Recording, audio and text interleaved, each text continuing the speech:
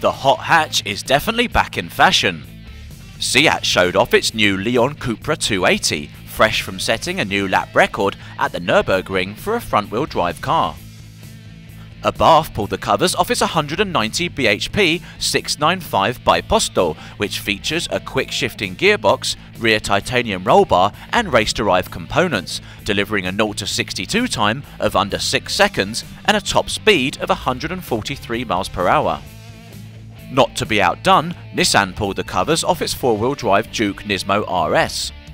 The high-performance crossover is powered by a 1.6-litre engine, developing 250 Nm of torque, mated to an 8-speed gearbox controlled by steering wheel mounted paddle shifts.